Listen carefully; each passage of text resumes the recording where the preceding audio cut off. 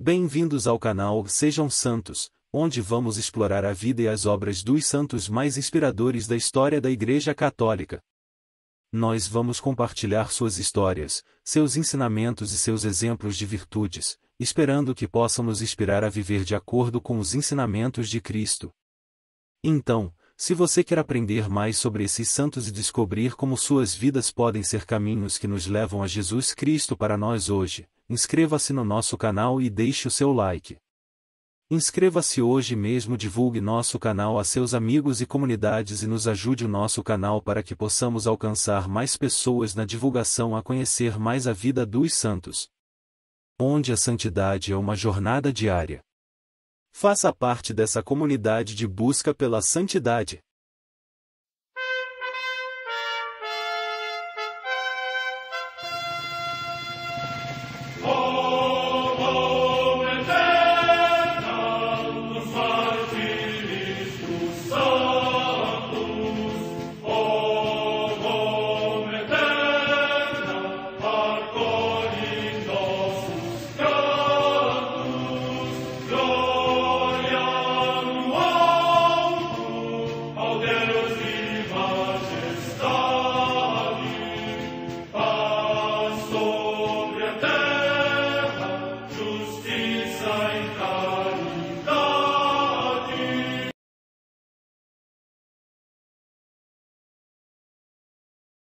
Ler a vida dos santos desperta em nós o desejo de seguir a Cristo.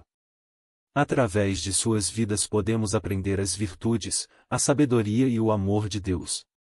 Cada santo nos oferece um modelo de vida a ser imitado, como diz São Paulo na carta aos Hebreus, capítulo 12, versículo 1. Estamos rodeados por uma nuvem de testemunhas. A Igreja foi fundada por nosso Senhor Jesus Cristo não apenas como uma instituição, mas uma autêntica família.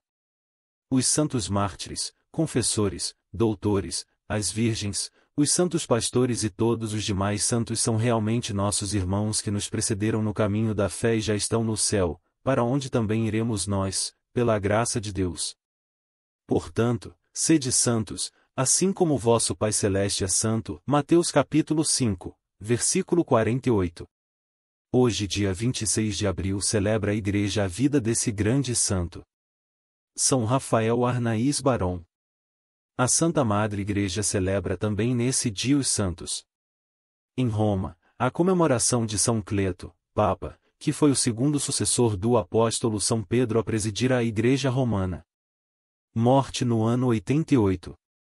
Em Gabe, na Via Prenestina, a 30 milhas da cidade de Roma, São Primitivo, mártir. Data da morte incerta. Em Amazeia, no Ponto, no território da atual Turquia, São Basileu, bispo e mártir no tempo do imperador Licínio. Morte no ano 322. Num ermo da floresta de Cresce, na região de Amiens, no território da Neústria, atualmente na França, São Ricário, presbítero, que, movido pela pregação dos monges escoceses, se converteu a uma vida de penitência. Morte no ano 645. No mosteiro de Corbie, também na Neústria, hoje na França, São Pascásio Radberto, abade, que expôs com lucidez e clareza a doutrina do verdadeiro corpo e sangue do Senhor no mistério da Eucaristia. Morte no ano 865. Em Foggia, na Apulia, região da Itália, os santos Guilherme e Peregrino, eremitas. Morte no século XII. Em Aragão, região da Espanha, os beatos Domingos e Gregório, presbíteros da Ordem dos Pregadores, que, percorrendo juntamente várias povoações sem ouro nem prata e mendigando alimento para cada dia, anunciavam a todos a palavra de Deus. Morte no século XIII. No Mosteiro da Transfiguração, em Moscovo, na Rússia, o sepultamento de Santo Estevão, bispo de Perm, que para evangelizar os zirenis, inventou um alfabeto para redigir as suas formas literárias, celebrou a liturgia na sua língua nativa, abateu os ídolos, erigiu templos e sobretudo fortaleceu-os na verdade da fé. Morte no ano 1396. Em Montjuic, perto de Gerona, também na Espanha, o beato Júlio Junier Pader, presbítero da Sociedade Salesiana e mártir, que, durante a perseguição contra a fé cristã, mereceu alcançar mediante o martírio a glória da vida eterna. Morte no ano 1938. No campo de concentração de Sachsenhausen, próximo de Berlim, na Alemanha, o beato Stanislau Kubista, presbítero da Sociedade do Verbo Divino e Mártir, que, em tempo de guerra, durante a ocupação militar da Polônia por um regime hostil à religião, consumido por graves tormentos neste cárcere entregou a alma a Deus. Com ele é comemorado o beato Ladislau Goral, bispo auxiliar de Lublin, que, no mesmo lugar e na mesma guerra, defendeu corajosamente a dignidade do homem e da fé, morrendo no cárcere, em dia incerto, consumido pela enfermidade. Vida de São Rafael Arnaís Baron O grande êxito de sua vida foi aceitar o aparente fracasso de seu ideal, conformando-se inteiramente à vontade divina. Nada foi aos olhos humanos, mas foi santo aos olhos de Deus, que julga pelo coração, e não pelas aparências. Frequentemente São Rafael Barão julga-se que o pleno desenvolvimento de um homem consiste em ser bem-sucedido na vida, galgar altos postos, conquistar prestígio, obter uma importante fortuna.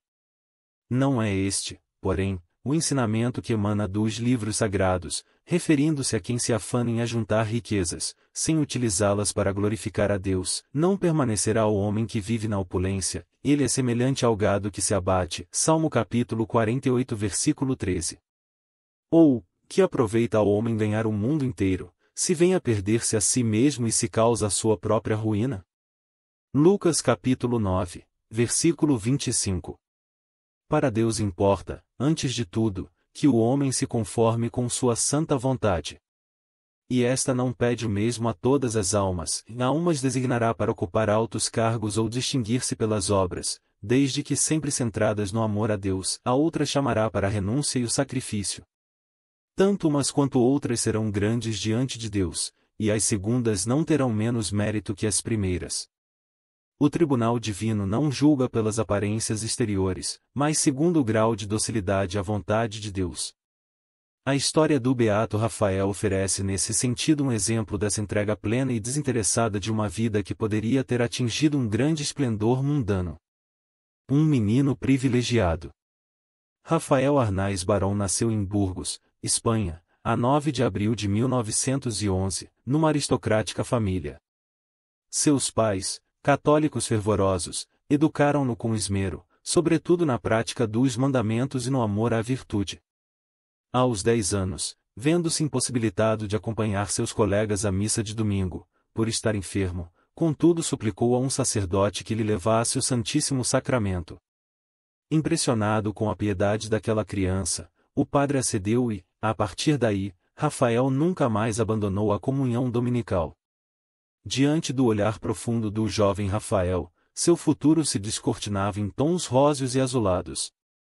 Ademais, sua inteligência penetrante, a vivacidade de sua conversa e seu trato ameno conquistavam-lhe todas as simpatias e aumentavam o atrativo natural que exercia sobre os que dele se aproximavam.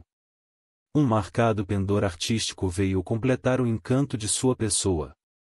Rafael, porém, parecia feito mais para a contemplação das coisas celestes que para as banalidades da vida terrena. Levava uma vida semelhante à dos outros moços de sua idade, mas seu olhar voava com facilidade até Deus. Dir-se-ia que sua nobre alma experimentava o exílio deste vale de lágrimas e ardia em desejos de horizontes sublimes. A resposta da providência a tais anseios, plantados por ela mesma naquele inocente jovem, não se faria esperar. Na juventude, o despontar da vocação de Rafael Barão. Aos 19 anos, estando na casa de seu tio em Ávila, foi solicitado a levar uma carta ao abade do mosteiro cisterciense de São Isidro de Duenas. Essa visita seria para ele a clarinada reveladora de sua vocação. Aquilo que vi passei na trapa, escreveria ele mais tarde, as impressões que tive nesse santo mosteiro, não podem ser explicadas, pelo menos eu não sei explicá-las, somente Deus o sabe. O que mais me impressionou foi o canto da Salve Regina, ao escurecer, antes de irem deitar-se. Aquilo foi algo sublime. Com efeito, desde a época de São Bernardo, era costume nos mosteiros cistercienses cantar a Salve Regina em gregoriano logo após as completas, em homenagem à Santíssima Virgem. Diante da unção daquele hino entoado por mais de cinquenta religiosos revestidos de brancos hábitos, Rafael sentiu-se convidado a imitá-los. Nesse dia, o projeto de dar-se à vocação monacal começou a germinar em sua mente. Ele continuou a levar sua vida comum. Dados os seus dotes para o desenho, estudou dois anos na Escola de Arquitetura, em Madrid. Entretanto, a graça operar em seu interior uma verdadeira transformação, como ele mesmo descreve, e ali na trapa e a sós com Deus e a própria consciência, muda-se o modo de pensar, o modo de sentir e, o mais importante, o modo de agir nos atos do mundo. A decisão de abraçar a vida religiosa. Em 1933, estando de novo em Ávila, Rafael surpreendeu seu tio com uma notícia, estava resolvido a abandonar o mundo e ingressar na Ordem de Cister, sem mesmo avisar seus pais, residentes ao norte do país, na cidade de Oviedo. Assim descreve seu tio a impressão que lhe causou a decisão do sobrinho. Rafael era débil fisicamente, mas a fortaleza que faltava a seu corpo tinha em sua alma medida completa e transbordante. Sua vontade era de aço, eu tinha firme convicção de que aquela determinação era de Deus, não era um capricho, nem uma impressão, nem um engano, era o fruto divino de uma correspondência à graça, que o Espírito Santo dignava se sustentar com um de seus mais preciosos dons, o da fortaleza. Todavia, para demovê-lo de sua resolução de não ir antes a Oviedo, seu tio recorreu ao núncio apostólico, que se encontrava em Ávila. Ante o desejo da autoridade religiosa, Rafael dobrou-se, por amor à obediência, reconhecendo naquela ordem o primeiro passo rumo à cruz, que desejava abraçar. Partiu para Oviedo e lá, após comemorar o Natal numa aparente alegria, comunicou a seus pais a decisão que tomara. Estes, como bons cristãos, acolheram-na com verdadeira emoção, agradecendo a dádiva que o Senhor lhes concedia. Uma nova etapa na vida do jovem Rafael Barão. Para o jovem Rafael começava uma nova etapa, deixava para trás as comodidades, o carinho familiar, os passatempos mundanos, as promessas de um brilhante porvir. Sobretudo, renunciava aquilo que a criatura humana possui de mais arraigado e à vontade própria.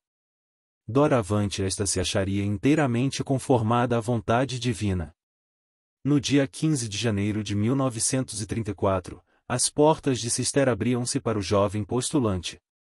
Seu coração estava cheio de bons propósitos, que ele resumiu com estas palavras escritas poucos dias antes: Quero ser santo, diante de Deus, e não dos homens. Uma santidade que se desenvolva no coro, no trabalho, sobretudo, no silêncio. Uma santidade conhecida somente de Deus e da qual nem mesmo eu me dê conta, pois, então, já não seria verdadeira santidade. Essa santidade seria alcançada em meio a indizíveis sofrimentos e provações, na aparente inutilidade, sem em nada manifestar-se exteriormente. Dessa forma, o primeiro período de vida religiosa foi para Rafael um verdadeiro paraíso. Se os jejuns e as mortificações por vezes arrancaram-lhe algumas lágrimas, sua alma sentia-se inundada de consolações. A humildade que demonstrava ao acusar-se de suas faltas no capítulo de culpas e sua atitude estática diante do tabernáculo impressionavam favoravelmente a comunidade, que logo se lhe afeiçoou. A dura prova da enfermidade. Para Rafael, o rompimento com o mundo já ficará definitivamente para trás. Gozava de grande felicidade espiritual quando, em maio, sentiu os primeiros sintomas da doença que o levaria à morte. Logo depois, o abatimento de suas forças obrigou-o a ser transferido para a enfermaria. Posteriormente, o médico diagnosticava uma diabetes sacarina que progredia de forma alarmante e exigia um tratamento apropriado, que só poderia ser-lhe ministrado fora do mosteiro. Começava assim para ele a subida ao Calvário, a aceitação submissa do cálice que lhe era oferecido. Via-se obrigado a voltar para o mundo, ao qual tão generosamente havia renunciado. Seu confessor, Padre Teófilo Sandoval, narra a cena de sua partida do mosteiro. Os suspiros e as lágrimas do angustiado Rafael faziam-me ver que em seu interior se desenrolava uma tremenda crise espiritual que lhe oprimia o coração. Quando deixei o mundo, a dizia-me, a despedir-me de todos até a eternidade, e pela imprensa Astúrias inteira soube que a graça havia triunfado em mim, sobre a natureza. Agora volto para lá desfeito, inútil, com a mortalha dentro da mala? O que dirá o mundo, tão propenso a se escandalizar? Eu quero morrer aqui, quisera que esta noite fosse a última de minha vida. Diante dessas expressões, compreendi que Rafael havia penetrado na terrível noite escura do sentido, do coração. As alegrias das almas amantes da cruz. Rafael voltou para sua casa. Em poucas semanas verificou-se com efeito uma melhora em sua saúde e pôde retomar a vida normal. Exteriormente aparentava ser o mesmo Rafael de antes, com sua alegria contagiante e sua sensibilidade artística. Uma profunda mudança, porém, efetuara-se em sua alma, modelando-a por inteiro. Experimentava outra alegria, aquela que só às almas amantes da cruz é dado conhecer. Assim escreveu ele a um de seus superiores, Alguns dias depois de sua saída do mosteiro, quando fui para a trapa, entreguei-lhe a Deus tudo quanto tinha e tudo quanto possuía, e minha alma e meu corpo. Minha entrega foi absoluta e total. Justo é, pois, que Deus agora faça de mim o que lhe pareça e o que lhe agrade, sem queixa alguma de minha parte, movimento algum de rebeldia. Deus não somente aceitou meu sacrifício, quando deixei o mundo, mas pediu-me maior sacrifício ainda, o de voltar a Ele. Até quando? Deus tem a palavra. Ele dá a saúde, Ele a tira. Essas palavras refletem bem o espírito de obediência com o qual acolhi a prova enviada pela providência. Um ano e meio haveria de durar aquele exílio, durante o qual seu amor a Deus não fez senão crescer e sublimar-se. Ao ingressar na ordem cisterciense, despojara-se de tudo, mas conservava ainda o desejo de chegar a ser um bom trapista, de se tornar sacerdote, buscava-se a si mesmo, como mais tarde afirmaria. Deus, como Pai boníssimo, educava-o de forma a purificar sua alma daquelas asperezas tão legítimas, mas ainda humanas. Novas tribulações para São Rafael Barão. Por fim, Rafael implorou ser readmitido na trapa na qualidade de oblato, uma vez que seu estado de saúde não lhe permitia adaptar-se ao regime da vida monacal. Em janeiro de 1936, entrou por segunda vez. Lá o esperavam novas tribulações, isolado na enfermaria, sujeito a um regime alimentício que provocava críticas dos companheiros, sofrendo incompreensões de alguns de seus superiores, Rafael sentia-se inteiramente só. Dada sua debilidade física, proibiram-lhe até de participar do cântico do ofício na igreja. A esses sofrimentos juntavam-se terríveis tentações que lhe sugeriam a ideia de ter errado de vocação. Ele tudo enfrentava com vigor de espírito e um inalterável sorriso nos lábios. Ainda por duas vezes a enfermidade o tiraria de sua amada abadia, mas novamente a ela voltaria, convencido de ser aquele o lugar que lhe designara a vontade divina, apesar dos obstáculos que esta mesma parecia lhe opor. Os últimos meses de vida de São Rafael Barão. Os derradeiros meses da vida de Rafael foram os últimos passos até o cimo do Calvário que se propusera galgar, como refletem os escritos dessa época, embebidos de intensa espiritualidade e amor à perfeição. Sua alma atingia aquela indiferença recomendada por Santo Inácio, pela qual o homem nada deseja para si e deixa-se levar pelo beneplácito divino. Uma única paixão dominava-lhe o coração em Deus. Tudo o que faço, é por Deus. As alegrias, Ele as manda, as lágrimas, Ele as dá, o alimento, tomo por Ele, e quando durmo, faço por Ele. Minha regra é Sua vontade, e seu desejo é minha lei, vivo porque a Ele apraz, morrerei quando Ele quiser. Nada desejo fora de Deus quisera que o universo inteiro, a com todos os planetas, os astros todos, e os inúmeros sistemas siderais, não fosse uma imensa superfície lisa onde eu pudesse escrever o nome de Deus. Eu quisera que minha voz fosse mais potente que mil trovões, e mais forte que o ímpeto do mar, e mais terrível que o fragor dos vulcões para só dizer a Deus. Quisera que meu coração fosse tão grande quanto o céu, puro como dos anjos, simples como a pomba para nele ter a Deus. Entretanto, a enfermidade progredia a passos rápidos. São Rafael Barão padecia fome, um irmão enfermeiro não lhe proporcionava os alimentos que a doença exigia, e, sobretudo, sede uma sede insaciável e devoradora que o acompanharia até os últimos instantes. Ele, porém, nada deixava transparecer no exterior, dando a todos a impressão de encontrar-se melhor. Falecimento. No fim do mês de abril já não pôde mais ocultar seu alarmante estado. Aos delírios da febre sucediam-se instantes de lucidez, durante os quais manifestava-se sereno e resignado. Recebeu a unção dos enfermos no dia 25, mas Deus pediu-lhe o sacrifício de ver-se privado do viático. As palavras alentadoras que lhe dirigiam os monges, procurando infundir-lhe a esperança da cura, Rafael Barão respondia estar convencido de que logo partiria para o céu. Faleceu na manhã do dia 26 de abril de 1938, em consequência de um coma diabético. Sua fisionomia plácida e seu sorriso refletiam a glória de que sua alma já gozava na eterna bem-aventurança. Uma alma enamorada de Cristo. Sob o ponto de vista humano, sua curta vida parece ter sido um monumental fracasso, não completou a carreira, não se projetou na sociedade, não realizou seus sonhos de sacerdócio, nem mesmo teve o consolo de observar a regra trapista e emitir os votos. Não foi assim aos olhos de Deus, que não julga pelas aparências, mas sim segundo o coração.